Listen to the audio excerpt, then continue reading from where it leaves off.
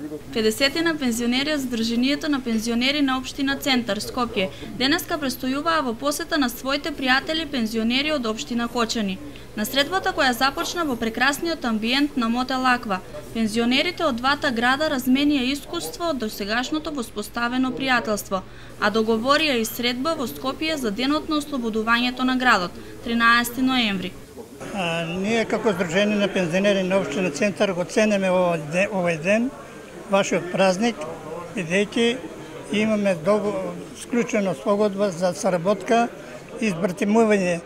Мислам дека ова, овој начин на работа треба да продолжи и понатаму, да ја прошириме сработката уште по нешто, или ако може, да ако нема простор, например, да речеме за сите наеднаш, може да го правиме тоа на два дела. Да, да биде, например, да речеме, а, во мар, јануар таму, па да биде после кај нас во мај, и истото Петров ден и 13 ноември да се останат онака како што се како што сме договорени. Јас ви посакувам многу здравје и среќа и късмет на сите пензионери на Кочени.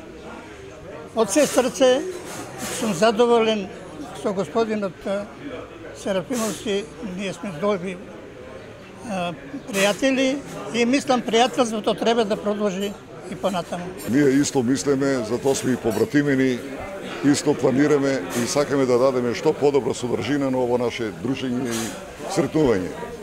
По повод, еве, дено на празникот на Кочани, ние го одредивме Петроден и честни што имаме гости баш на овај убав ден ќе гледаме да биеме одлични домакини, меѓутоа ќе го запазиме и спортскиот дух. Ние имаме организирано овде на овој локалитет, овие одлични услови да играат шак, шакистите на систем за у поголема ширина од овое сретнување не партија со партија, него ќе направат круг секој со себе. А одма до, до стадионот имаме републичко регистрирано средиште, таму стрелачите кидат и ќе завршат нивната работа. После тоа седнуваме, сумирајме резултатите, ари и ќе наздравеме за празник и за наше добро здраве и за ние и за нас. Во рамките на заедничката средба беа проследени неколку интересни содржини од програмата на годинешните Петровденски празнувања во Кочани.